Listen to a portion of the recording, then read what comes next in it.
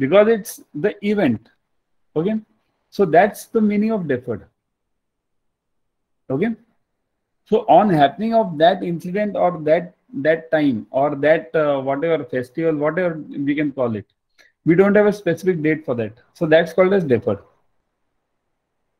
And to incur a deferred payment undertaking and pay at maturity if the credit is available by deferred payment. To accept the bill of exchange drawn by the